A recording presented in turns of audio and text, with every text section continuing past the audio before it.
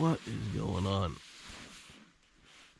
So, you may have watched the Thunder Swamp Trail video, which I'm currently recording.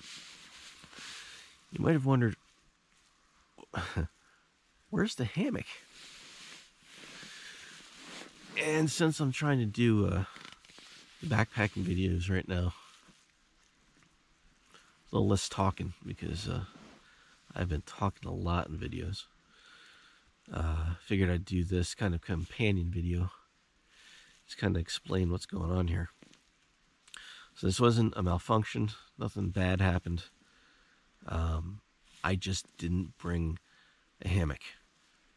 Uh, I wanted to test this uh, this tarp. This is my uh, Hammock Mountain Outdoors All-Rec tarp. It's made from Dyneema.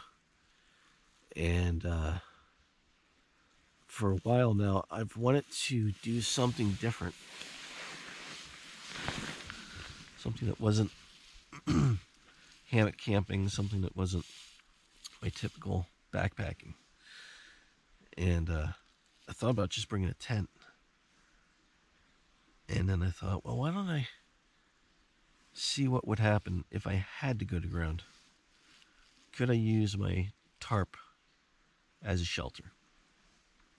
So I didn't give myself a choice. I just didn't bring a hammock. Um, so let me show you what I got set up here. On the ground, I forget how heavy this is. This is pretty heavy. Um, I think it's TU coated thermal something applied coated ripstop. it's pretty heavy. It's like 1.9 or, or 2 ounce, so it's really durable. It's waterproof. I just hemmed up the ends and put some tie outs on it, which I only use that one tie out. And I made it way too long. It's like nine feet. It does not need to be nine feet. Um, but I threw that down on the ground and then I staked this out, the tarp, just right to the ground at the, not the far corners, but at the, uh, like the, the one quarter in tie outs all the way around. And then the far corners, the square corners, are brought in here. Are brought in here to create a door or a wall on this side and a door at that side.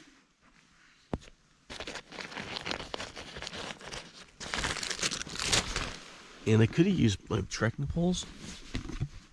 I'll sneak you guys out the opening here. And hopefully, from inside, I can give you a shot of what it did.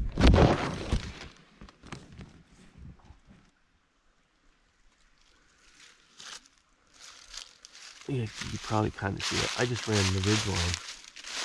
Tied the ridge line off to the trees on either side. I could have set the poles up and just tied rope over and down to the ground. But I had trees available, so I did it that way. And it worked really well. Um, it kept all the falling leaves off me. There was no precipitation last night, but I'm pretty sure it would have kept me dry. Um, it wasn't the warmest thing in the world. It got down to like 34 or something last night. Um, didn't didn't get to freezing, but got close. And uh, so it was chilly. I mean, would have been a little warmer in a tent. But I'm using this East Hills outdoors down sleeping bag that um, they sent me last year to test, and I never I got it out for like one test. And it was like 52 degrees, and it was really warm. Um, at first, I wasn't real happy with this last night because I was getting a little chilly, but it was breezy and there was air blowing across. But once the wind died down, it was pretty good. And then inside, I think is the other problem. The other reason why I was unhappy. I put my there it is. I put my uh, sleeping pad inside, so you can see how kind of stretched stretch out this sleeping bag is so the down is getting kind of compressed. Um, but once I kind of got into position where the down stayed lofted, I stayed warm. I, I didn't freeze. Um, I don't know if this would go down to 15 degrees like they say. Uh, 32, 30, somewhere high 20s might be its its its lower limit. Um, but it worked. My entire pack weight was only 23 pounds, which is um, key because it was a little brutal getting here yesterday. Um, the Thunder Swamp Trail is kind of weird the way it's shaped. It is like a main loop, and then at the northwest corner, there's a, a, a lollipop that comes off, and it goes up and out to another loop. And I was gonna try to do the whole thing. I, I'm doing it clockwise. Well, to you guys, it'd be clockwise this way, and the northwest loop would be up here. So I started out at the southern end. Um, I came up around the outside, and then over near that kind of stone wall and bridge crossing at Saw Creek, um, just past that, uh, there's a a sign for um, I had a Luke Road one way, and then um, Painter Swamp the other. Painter Swamp is that little lollipop, and I was gonna go that way, but at that point, I was already at I think ten miles or eleven mile, ten and a half miles somewhere in there, and to get up to the only campsites I know that are up there would have been four to five miles from that point. And I really wasn't looking to do 15 miles. And as I thought about it, I'm like, I've never tested this the setup. And if this doesn't work, and if this doesn't work, it's going to be a miserable night, knowing it's going to be that cold. So I decided to skip the lollipop and come back down. And I there's a campsite right by Lake Minisink, and that wasn't quite far enough. It was still pretty early. At that point, I, I stopped for lunch. It took like an hour for lunch. I, I got going. By the time I got back on the trail, it was quarter after three. It was still a little too early to, to break. And um, I was like, eh, I'll keep going. There's there's got to be another campsite somewhere along here. And I hiked and I hiked and I hiked and I hiked and I hiked. I am back to the campsite that Dragon Panda and I came to in the winter uh, when we came out here and we were going to do the we were going to stay overnight but the temperatures dropped too much. And um, we decided just to bail. And uh, the wind picked up and the temperatures dropped way more than we thought. And uh, we, we just took off. So we kind of got camp set up. And then we hiked out at, at night. Um, i'm back to that campsite.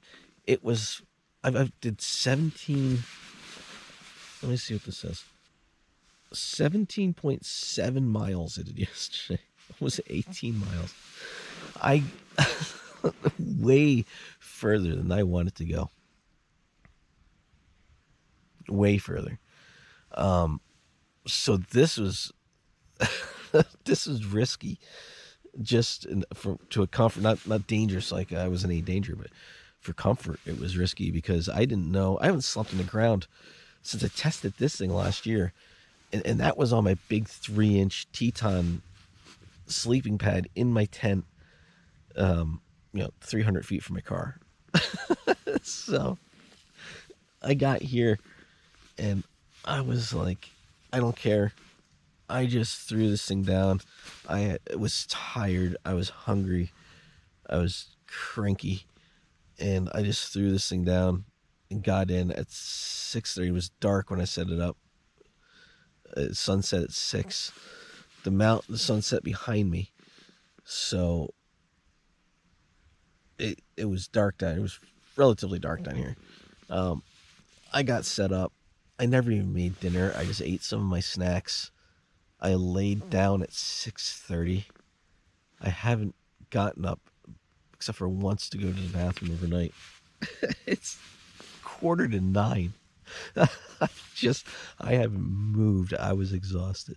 which is good. I haven't really worn myself out like that on a trip in a long time. Um, the Thunder Swamp Trail is notoriously hard to follow. Um, and I've done parts of it, and it's it's been rough in some areas, but um, it looks like the Keystone Trail Association is. I don't know if they've always maintained this or if they just started maintaining it, like the Pinchot Trail. They took that over, and this was pretty well blazed. I didn't have any problems getting my way through. Um, there were a few spots where there's some trees across, um, which is one of the reasons why I decided to go to ground on this trip because um, this is kind of a hard trail to find a good spot to kayak, a good spot to hammock. Sorry, woke up haven't eaten anything. Good spot to hammock. Um, like we did it here, we were able to find a spot to, to set up three hammocks, but it was it was close. Um, and there's a lot of um, I think there's a lot of ash out here, and ash trees, and we're we've got those emerald ash borers. The whole ridge up on top has been forested. It's pretty much clear up there. Um, so, um, down trees, nowhere near as bad as Chuck Keiper Trail. Nothing like that. But just every once in a while, I come across a tree across the trail. But aside from one or two spots where I just stopped paying attention, I, I kind of looked around like, oh, am I still on the trail? Um, because of it's fall. Um, for the most part, the leaves are off the trees. You can kind of see through the tarp here. And the colors are gone.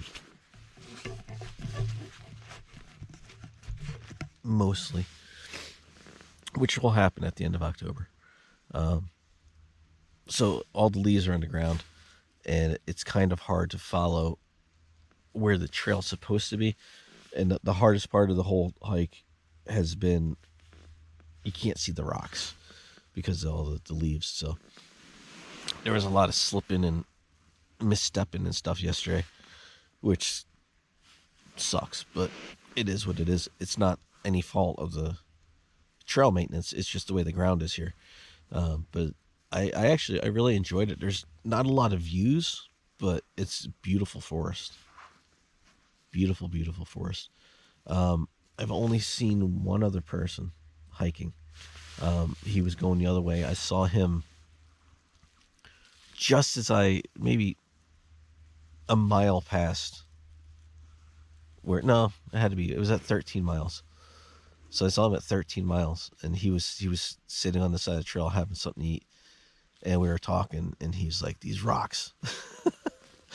he's like, "There's your ankle breakers," and I was like, "Yeah, it's Pennsylvania." So we talked for a little bit. Other than that, um, I, have seen a few hunters out, and that's it. That's it. So, good trip. I know I've only got about two and a half to three miles to get back to the car, so the trip's pretty much done.